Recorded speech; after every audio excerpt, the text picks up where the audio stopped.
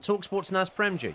Sheffield United nil, Leyton Orient one, five minutes but stoppage time to go here, and United have been battering at Leyton Orient. Of course, they're down to 10 after the second yellow for Joby McAnuff, and they had a really good claim to United for a penalty. Jamal Campbell-Ryce brought down by Elliot Omozusi, three quarters of the ground thought penalty. The referee, Mr. Haynes, said play on and gave a goal kick. It upset the locals. Uh, it's still all Sheffield United, but Orient hanging on. It's Sheffield United nil, Leyton Orient one. Next we have a late goal at Bramall Lane, Naz Premji.